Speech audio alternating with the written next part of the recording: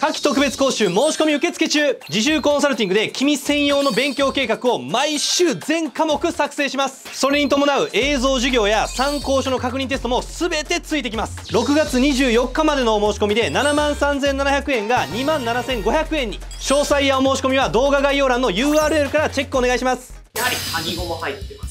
から、はいまあそこも有用ですので、はい絶対に全部、誤報も入ってますから、はい覚えていただければいいかなと、隅から隅までやってくださいという感じになります。はい渋いですね。おー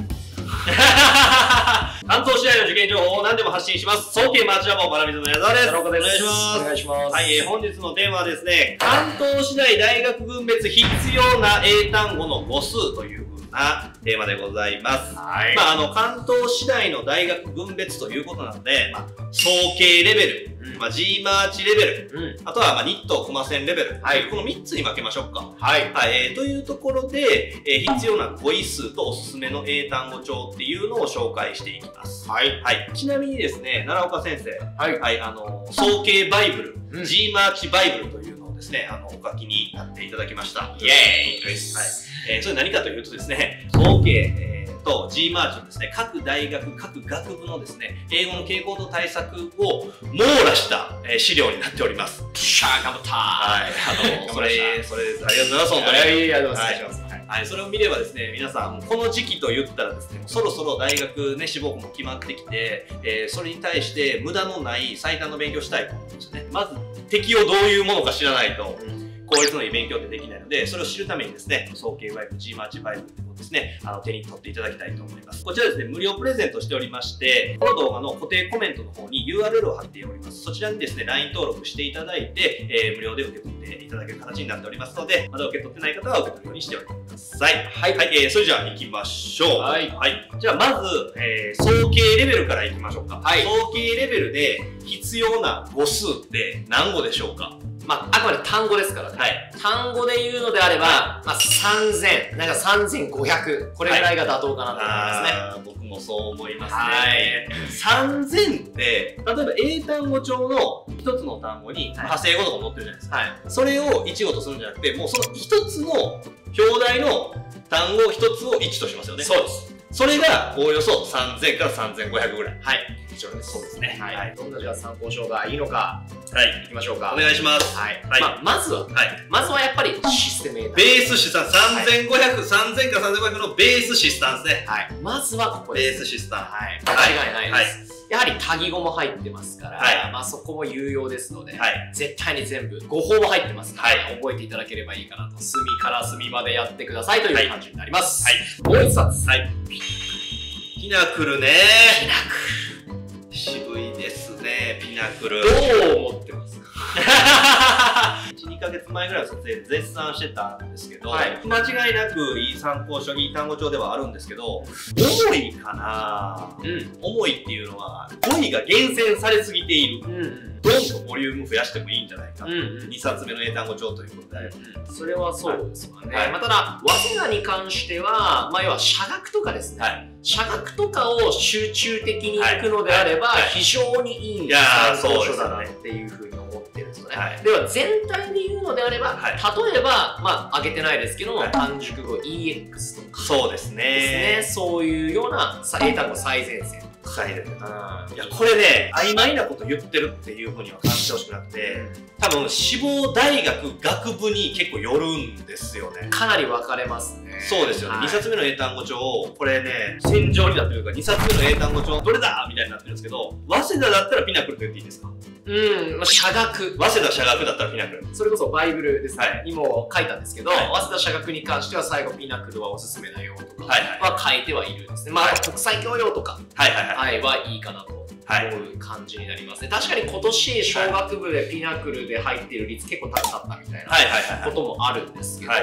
まあちょっとオーバーになる可能性があるかな、はいはい。英語としてはいいですけど他の科目とかを考慮した時に、はい。ちょっとオーバーになる可能性は否めないはいはいはいはい、はいっていう感じです。はい。万人にあの使いなさいっていう風にするよりは、うん級の単純 EX の方が万人に進めれるかなっていうそうですね風にまあ万人ははい、えー思います。ただ、シスタンでまあ大体2000から2200ぐらいじゃないですか。はいおおよそプラスで1000ぐらいは、えー単語をしっかりと覚えていくようなイメージを持って、えー受験に挑んでいただきたいなというふうに。はい。あ早慶はそんなもんですか？早慶はそんなもんですね。ははい。い、じゃあ続いてマーチいきましょうか。はい。はい。でマーチの必要な語数はそれこそ2000はい。ちょい。はい。2200とかぐらいかなと思っております、はい。まあ、やはりやはり何を基準にしてるかと言われればそれこそやっぱりシス単ですね、はい。まあ、この一冊をちゃんと極めるというところにおいてそれぐらいの語数が想定されるのかなと思っておる感じでございます、はい。はい。ちょっと一昔前だったらね、シスタンも一冊全部覚えなくていいんじゃないかみたいなね、うんありましたけど、今はもう全部ちゃんと覚えてほしいです。マストになるかないもうマストですねはい。はいまあいろんな参考書、単語帳でも出てますけれども、はいまあシスタンでいいんじゃないかなってそうですね。まだまだ思ってますね。はいはい。ターゲットとかで一語一訳なのがいいじゃないっていうね、あの言う場合もあるんですけどね、そもそもいっぱい書いてても一語一訳をまず覚えていったらいいかなとうんうんうん。思うので、そうですね。はい、情報量がね、多い方がやっぱりいいかなと。うん、と思います。多すぎてもダメなんですけどね、まあまあ辞書みたいな感じで。あら、ちょっと言いたいこと出てきました。お？はい。辞書？辞書。さあ、来ました。これがね、さっきちょっと話をしていたんですけれどもそうですねね。。なので、生徒に辞書引けって言います、言わない言わない。いや、でも多くないですか、最近、なんか、エビコン先生でも辞書引けっていう人。最近のあの風潮ってやつですね。ああ、これどうですかね？多分風潮として、はいい、わゆるその単語と単語の相性というコロケーションとかっていうところの話が盛んに盛り上がってはいるので、その流れで多分辞書っていうところがは来てるのかなと思うんですけども、まずそのレベルっていうのは学生じゃなくて講師とかっていうこの我々大まあ、大学生以上がやればよいかなとはい思ってるものであって、はい。でそもそも学生上求めるものではないのかなっ。ていうのが一つと、はいそもそも辞書を使えない子が多すぎる。はいはいはいはい。いろんな求めれないですよね。そうですそうですはい。いろんな情報が入ってるので、もう何が必要なのかどうかは自分で判別はできないのはい。はい。で、やるだけ無駄、ははい。い、思ってるんですよね。はい。しかもあとたまにやっぱいるのは、なんか携帯なんかよくわからない、英二郎みたいな、はいその辞書使ってパッと調べて、はいこれ何も勉強してないじゃないですか、はい結局。。辞書は使ってますよね、それでも、先生が言う辞書を使えっていう、辞書を引けっていうこととは違いますもんね違いますし、はいもうおかしいんで、はいはいなんか基本的にはもう辞書は使わなくていい。そのために読まず単語帳があるっていう、はい。覚えなきゃいけないものがこうですよとまず最低限提示されているものがあるのでそれをちゃんと押さえてください、はい。ここが大事なのかなと個人的には思ってるんですけどそうですね。あまり大きな声では言えないですよねいや、そうなんですよね。はい X とかで言ったら、まあ、叩かれるやろうなというふうにまあそうですね思いますね。だから、英語教育については非常に、あの、思い入れが強い方が多いので、いや、辞書なんて聞かなくていいでしょって言ったら、何言ってるんだこいつと。英語講師の風上にも置けないぞっていうふうにね言われちゃいそうなんですけど、子供たちのことを見てると、じゃあ辞書を引けって言われて、辞書を引いて、ちゃんと先生が思い描く通りに辞書を引けてる子が、一体どれだけいるのかって思うと、ちょっと疑問が残るなという。そうですね本当に最上位の上位の上位です、はいこの本当に数パーセントレベルは多分使えると思うんですね、はだそれこそ辞書でもなんか英辞典使えとかいう人いるんですけど、だから無理だっていう、いつも思うんですよ。はまあだったら授業の中で、その単語帳にニュアンスとして含まれてないもので大事なものがあるのであれば、それは言ってあげればいいだけの話であって、自分でやらされる、やらせるっていうこととは、はちょっと違うのかなと。い。いや、そうです個人ね。的にはえ。だって英字辞典引けるようなレベルにあるんだったら、マジで予備校の授業いらなくないですか？いけます。自分でできます。絶対自分で勉強できるので。ってなったら、その人たちは目の前にいる生徒たちに英字で引けって何教えてんねやろってなる そうですね。どういうことやろそそれができない子たちが目の前にいるから僕たちの仕事があるのであって音読をしろとかもそれに当たるんですけど確かにあの僕ら英語はそれなりにできるようになって辞書を引く意義も音読をする意義も分かってる上で言わないよねっていうふうに一応なってますねそうですね。はい僕らとしてははい。私たちは見ます。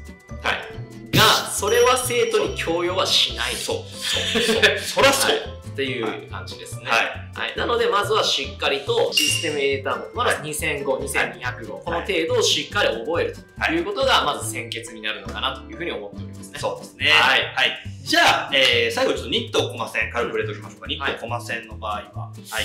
まあ、理想としてはやはり2000語ぐはいらいは欲しいのかなとはい。いうところになっております。だシステム英単語も、まあ、ちょっと前まではその4章とかちょっといらないかなみたいなのもあったかもしれませんが、はちょっと最近1個もやっぱ難しくなってきてもいますので、はい。やっぱりシスタン1冊押さえておくと良いのかなと思います。そうですよね、はいそうでもね1個はレベルの子となるといやもう4章超えなくていいですか？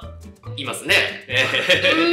頑張ろう頑張ろうってなるんですけど、過去問とね、照らし合わせしながら、自分の大学、学部がどういうようなね、問題が出るのかっていうのを確認したら、あのそれが必要か必要じゃないかっていうのをが分かると思いますので、そこしっかり見ていただいて、判断していただきたいなと思います。はい。はい。それでは、今回の動画はここまでにしたいと思います。ありがとうございました。動画を見てくれてありがとう。マナミズムの公式 LINE では早慶マーチの各大学の傾向と対策がわかる早慶バイブルマーチバイブルっていうのをプレゼントしています。早慶マーチ志望の方は概要欄の URL からぜひ LINE 登録をお願いします。